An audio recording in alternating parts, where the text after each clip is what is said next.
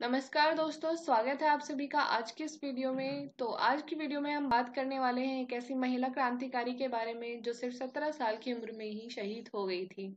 इनका नाम है कनकलता बरुआ जी इनका जन्म 22 दिसंबर 1924 को हुआ था और इनकी मृत्यु 20 सितंबर 1942 में क्विट इंडिया, यानी कि भारत छोड़ो आंदोलन के दौरान 1942 में हो गई थी। ये एक इंडियन इंडिपेंडेंस एक्टिविस्ट थी और ए आई एस एफ़ की लीडर भी। इनके बारे में और बात करें तो इनका जन्म बोरंगबारी गाँव में हुआ था। उस समय के जब तक विभाजित नहीं हुआ था, दरंग डिस्ट्रिक्ट असम का वहाँ पर। इनके पिता का नाम कृष्णकांत और इनकी माता का नाम कर्णेश्वरी बरुआ था। इनकी माता की मृत्यु जब ये सिर्फ़ पाँच साल की थी, तभी हो गई थी, और इनकी पिता की मृत्यु जब ये तेरह साल की थी, तब हो गई थी।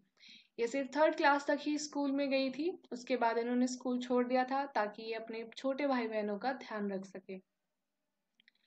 भारत छोड़ो आंदोलन के दौरान कनकलता जी ने एक ग्रुप ज्वाइन किया था, जिसका नाम था मृत्यु बहिनी, जिसमें सारे जो यंग पीपल थे उस टाइम पे उसका वो ग्रुप था Gopur sub division of Assam में। 20 दिसंबर 1942 में उन्होंने डिसाइड किया कि वो नेशनल फ्लैग को लोकल पुलिस स्टेशन में फहराएँगे। उस टाइम पर वहाँ की जो ऑफिसर थी रेबती महान सोम, उन्होंने वार्न भी किया था कि अगर वो ऐसा करते हैं तो उसका रिज़ल्ट अच्छा नहीं होगा, लेकिन कनकलता जी पीछे नहीं हटी और कनक लता जी और उनके साथ एक और जो थी महिला, क्रांतिकारी, उनको गोली मार दी गई और सत्रह साल की उम्र में ही कनकलता जी शहीद हो गई। देख सकते हैं आप असम के तेजपुर डिस्ट्रिक्ट में कनकलता उद्यान या फिर रॉक गार्डन है, जो वहाँ पर इंसिडेंट हुआ था, उस वक्त पुलिस स्टेशन में उसको डिस्क्राइब करता है।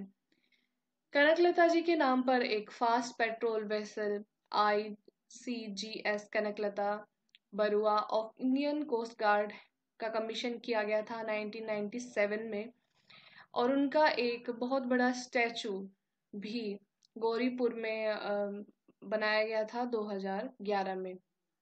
हर impassioned speech before her death remains a source of inspiration for many. इन्होंने सिर्फ़ सत्रह साल की उम्र में ही अपनी आप को देश के नाम कर दिया था तो आज की वीडियो में बस इतना ही मिलते हैं अपनी अगली वीडियो